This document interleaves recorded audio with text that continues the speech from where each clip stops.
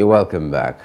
Uh, right now, we're going to what has been happening in the Ministry of Works. Um, Dave Umahi, the former governor of Ebonyi State, who is now the Minister for Works, is insisting that Nigerian roads will be better off if they're done with concrete rather than what they have been using to do the roads.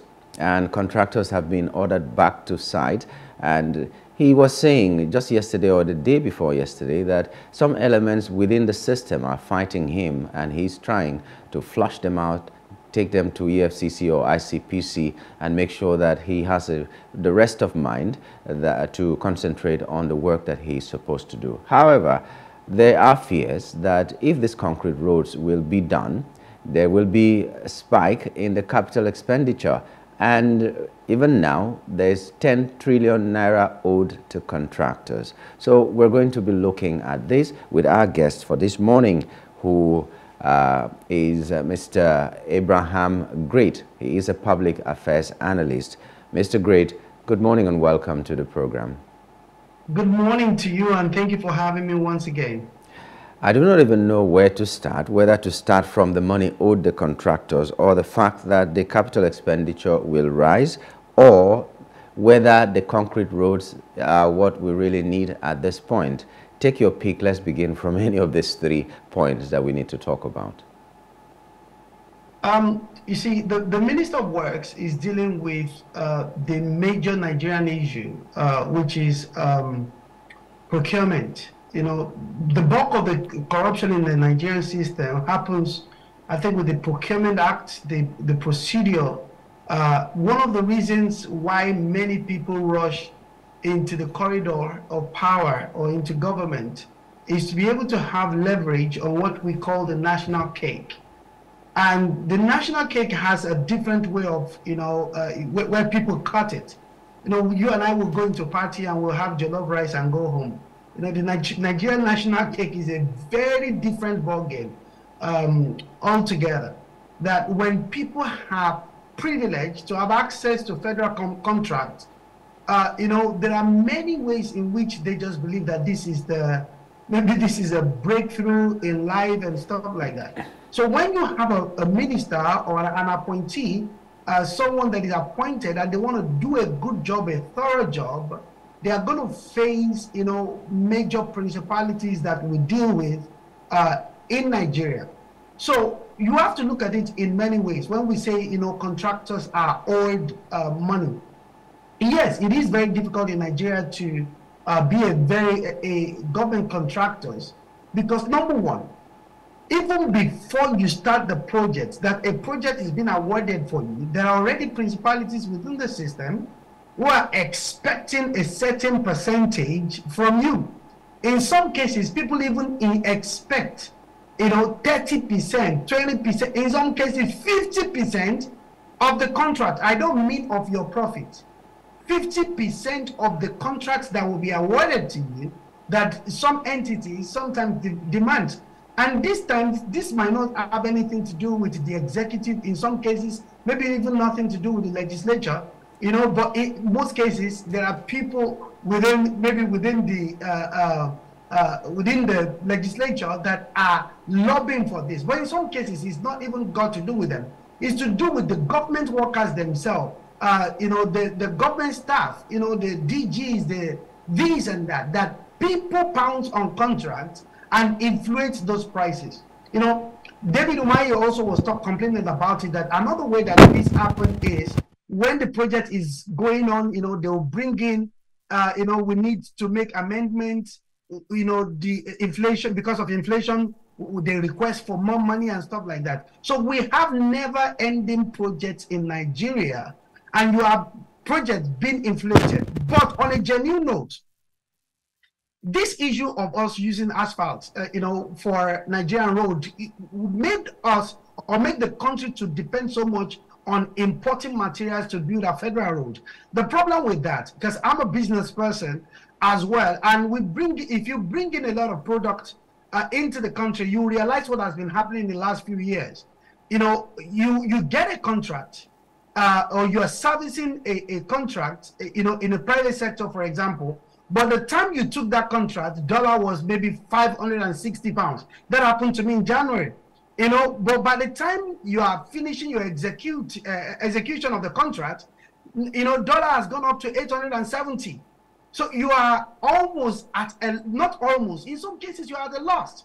Because if, if, in my case, you are dealing with hundreds of thousands, even of millions of dollars, you realize that you even have no way in which you're going to cope. Because if you're going to continue to, and especially if they have not finished paying you, maybe they paid you 30% and you have to execute, it becomes very difficult for people to be able to cope. Uh, I mean, I'm talking on the private sector, let alone the government uh, contract.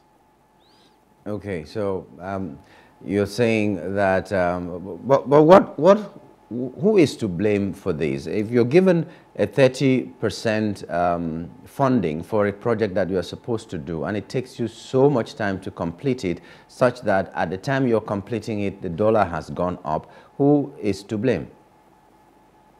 Well, you blame uh, every every everything you have to blame it on the on the system or the, on the government because you know uh, the government has the responsibility to you know uh, to have control over you know inflation.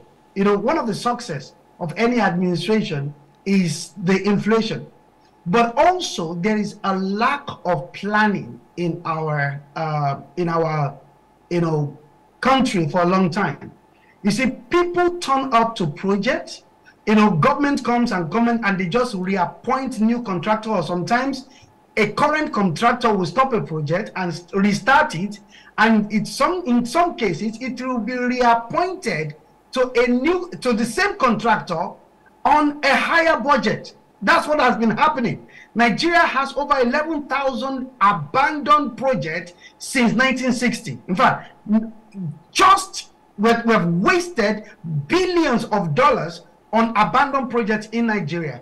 So the government has to have a way of planning and planning long term and factoring inflation and doing everything possible. And this is why I agree with the Minister of Works when he says that he's going to be using concrete uh, road technology instead of the asphalt you know, technology, because that gives us more of a local control we are able to produce almost every material that is needed for the uh, concrete roads, which is actually, in fact, more durable. So you are able to, but let me let me give you this example. If we keep dealing the way we have been dealing uh, until this last, you know, the last government and this government being able to hand projects over to each other, but if we kept doing the way we were doing before, we will have nothing as a country to be able to, you know, to be able to live on. I give you an example. When you are making road in some of these developed world in Dubai or in UK, in Canada, in the US, sometimes they are factoring 150 years in construction. They're looking at 200 years ahead. They are planning, they're saying, okay, this road that we're about to do, it is going to be 400 kilometer road, but along the line somewhere in the next 70 years, we're going to do a, a tunnel that is going to pass through this. Maybe in the next 15 years, there's going to be a tram that is going to go on top of this road. Maybe there's going to be 15 bridges. I don't know. I am not aware if, as a country, Nigeria, we factor in long term planning into our projects. And if we don't do that, we are not able to foresee risk. We're not able to foresee, you know, weather uh, uh, disadvantages.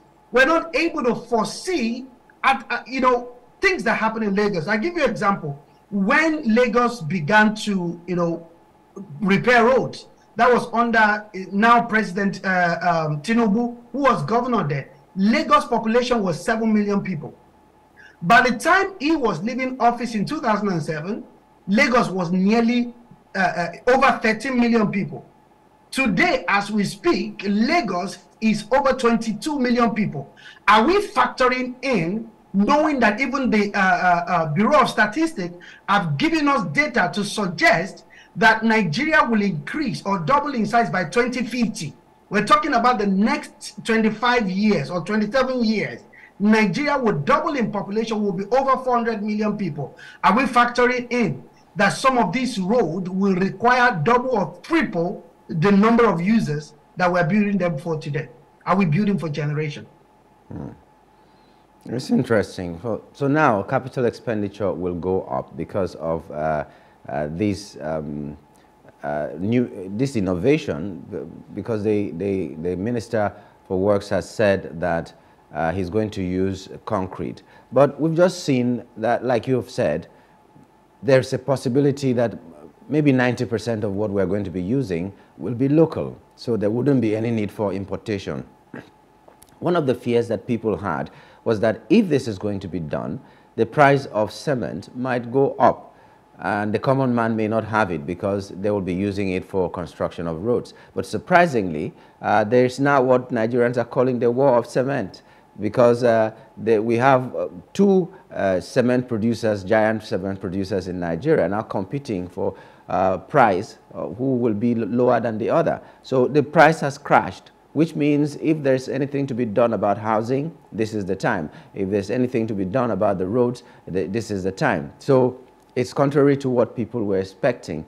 But now that the projection is that capital expenditure will rise, uh, maybe higher than when it was supposed to be the normal asphalt that was used on our roads and all that. How can we marry the two together? On the one hand, we're seeing that we're getting local uh, products or local raw materials to do our roads. On the other hand, people are saying the capital expenditure will rise. How, how do we reconcile that? Well, we need to, uh, as a country, we need to do a few things. Number one is the fact that we need to be quick in reestablishing new monetary policy in the country. Uh, I'm, we're grateful that we've got someone who is experienced, you know, supposedly, uh, as the uh, CBN governor and the economic team, the Minister of Finance and stuff, they need to get around the table and find a way first to stop you know, uh, inflation skyrocketing. We need to be able to have our inflation first under control.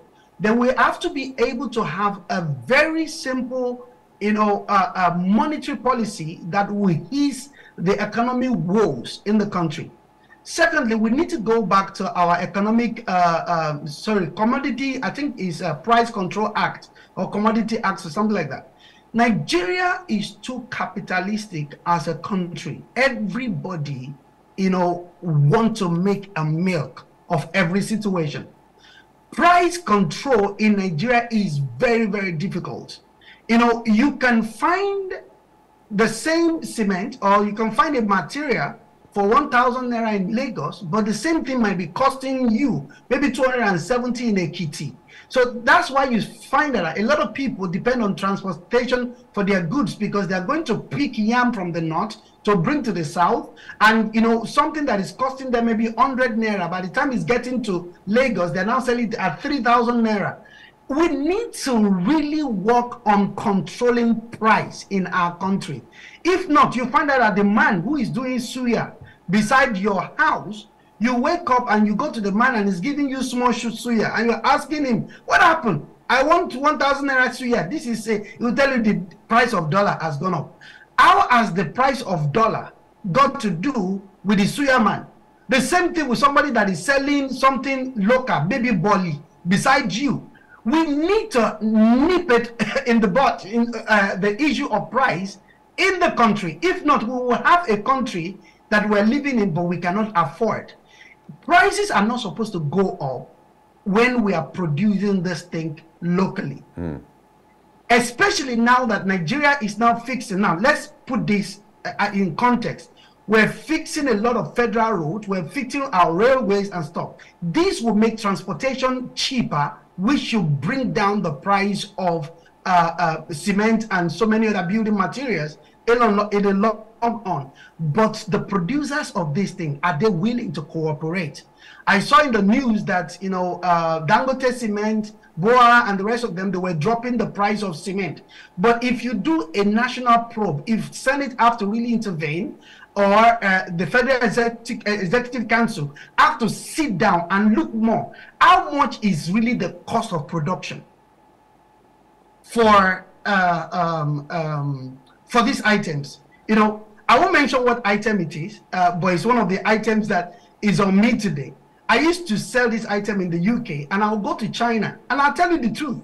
You can go into the store anywhere in the world. In fact, I'll tell you what it is. Suit. This suit. I, I used to make my own suit. I'll go into China, I'll make suit and I'll bring them to Europe to sell. But I'll tell you the truth, there is no suit under this planet unless it's the bottom or some of the uh, inside material that should cost you more than $47. But you see, you walk into some stores and you are seeing suit for $2,000. You're seeing them. That's what got me angry. 2008, 2009, I started going to China and I will bring in my own product. You know, it might not have label, but it's exactly the same design, the same material, in the same place where they are making the same thing, and it might not even cost me that much. How much is the real cost of production per unit from source? How much are they selling it? And this is why you find that the rich are extremely rich in Nigeria because the masses are seriously taken advantage of. Mm.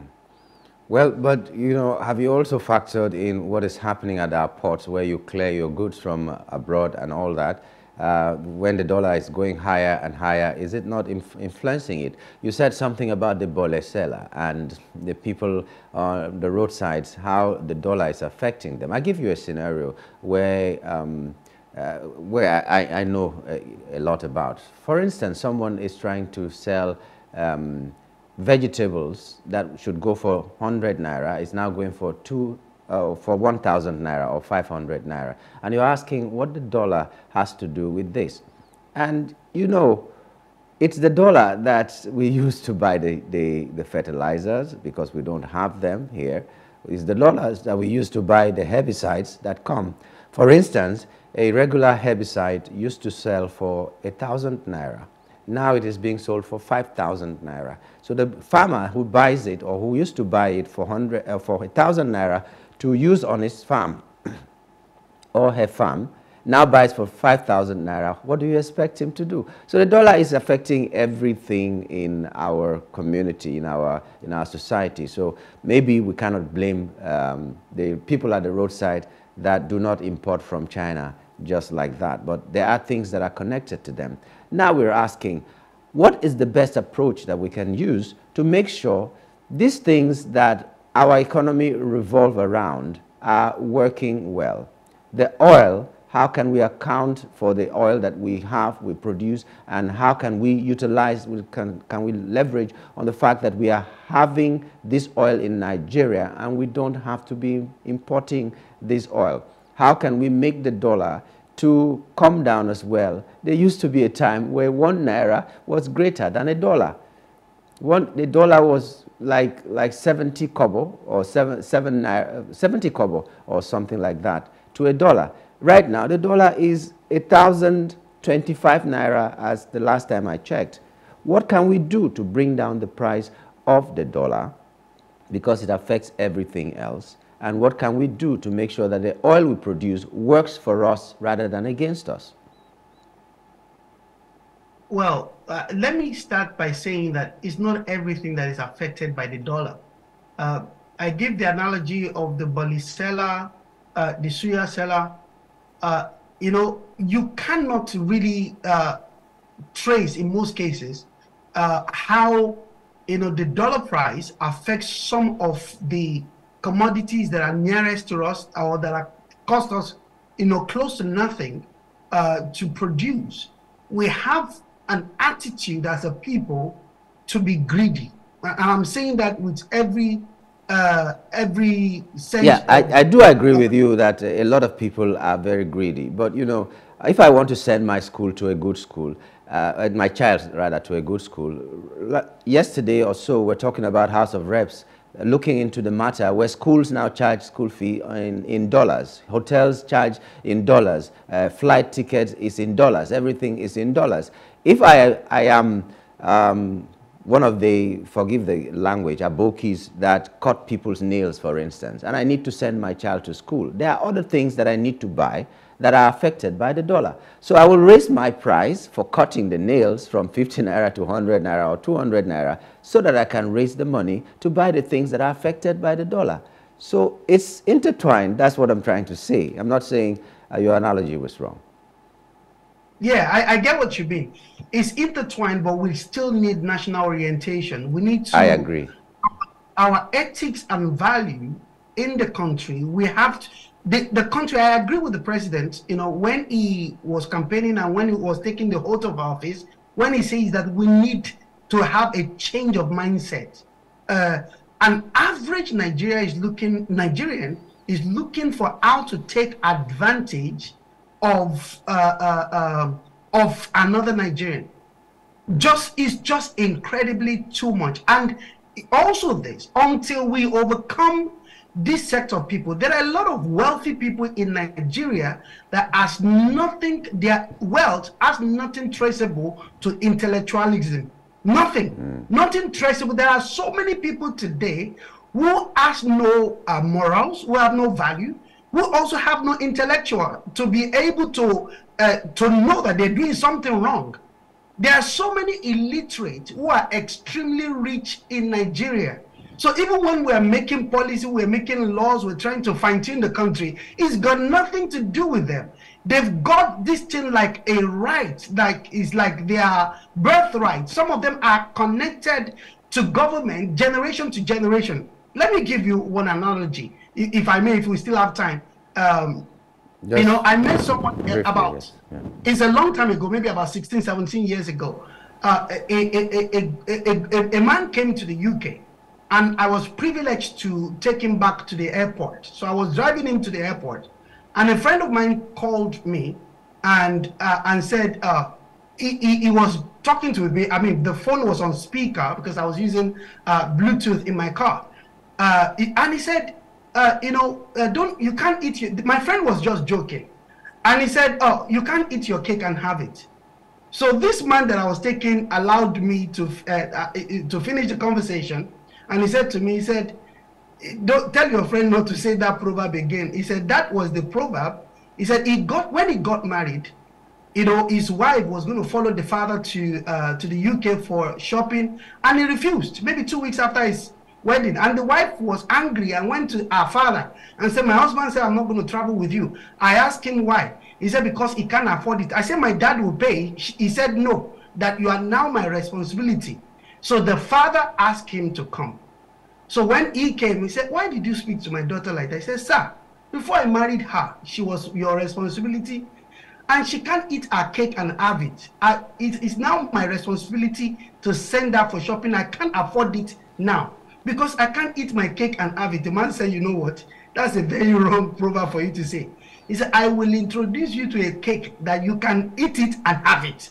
That the more you eat it, the more you have it. And by the time he told him, that was Nigerian national cake. Introduced him to contracting in Nigeria, and the more they take, the bigger he gets. That is a very destructive mentality very, that is killing Nigeria today. When you look at the Procurement Act, the process of securing uh, uh, uh, pro how competitive are these biddings? What and then what is the value of our money? What are the contractors' qualification? What are the kind of accountability or oversight that we have over procurement in the Nigeria? So you find that one of our major problem is the Procurement Act. Because until we fix this issue of illiterate people, people who think that the government belongs to them, that the national cake belongs to them, there are people who have been eating from the Nigerian system since before independence. And from generation to generation, it's become their right. Are you aware that there are people in Nigeria that even the president of the country cannot control? And they dictate where contracts go, how contracts go, the price, of, and some of them can even sit down where they are and begin to inflate prices. Now, how do we know that this government is successful? Is until we are able to be strong enough to confront these powers and principalities and power and the people that are, you know, bringing the nation to its knees.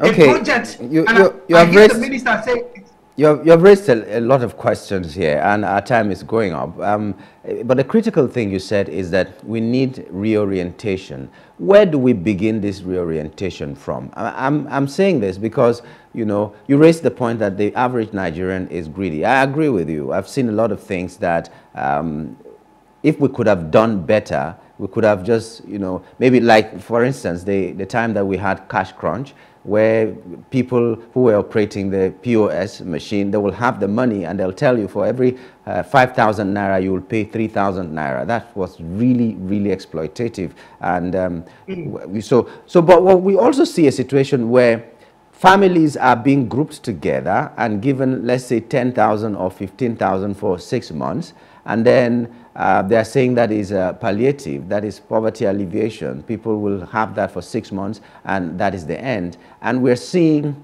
prayers to the inboxes of some senators to the tune of just a paltry, as they called it, 2 million naira to a senator who is coming from among us that we voted in at a time where families are going to be given 10,000 naira for three months, for six months, which maybe a hundred families will have to come together before you can get up to two million. Someone is calling two million naira a paltry sum to the senators. You know, you get what I'm saying. When people who are supposed to show by, lead by example are living flamboyant lives and asking the people to tighten their belts.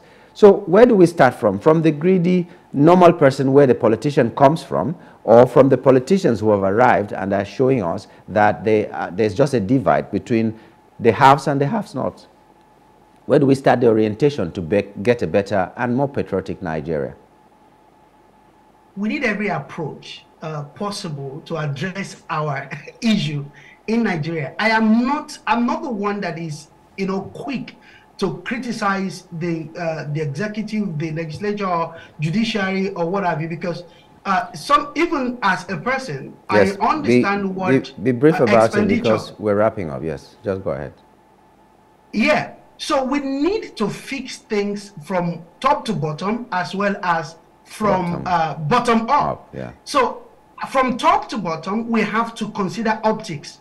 The optics of government needs to mirror the intention of government. Mm. A lot of the time we find that government intend well. You want to do well, but you have to watch out for your optics. Mm. But in terms of from bottom up, also you need, uh, need, I've said it before, national orientation. I give you an example you're trying to build even federal road, not even local road now or state roads, and people are disturbing you to say we are Omonile, you can't pass through here. Even federal government contractors sometimes deal with. So we need to sort out a lot of issue and reorient our people, like the Land Use Act, the land acquisitions, you know, the compensation for landowners or for road passage, you know, community consent and stuff like that. There is a need for the entire nation to know that we are in for industrial revolution. If I can put that in, Nigeria should be entering a phase right now that Europe and America entered hundreds of years ago, which is we need to industrialize our country. And to do this massive road infrastructure, for that to happen, we need to fix the Procurement Act, we need to fix the Land Use Act, and we need national orientation. Mm. Okay, thank you so much. It's a good place to, to end today. Uh, it's like the Bible says, all have sinned and fallen short of the glory of God. So we have to all collectively accept the fact that uh, we need to do better and our Nigeria will be great again. Thank you so much, Abraham. Great for coming on the show this morning. Thank you for having me. It's a pleasure. Yeah. It's working. Thank you. That was Abraham Great, public affairs analyst, talking to us here on the show. And we were looking at the fears that concrete roads will spike capital expenditure amid uh, 10, uh, 10 trillion naira owed to contractors. And we were able to identify where the problems are and how we can move our country forward without fear. Well, we'll take a short break and return with our final hot topic. Stay with us.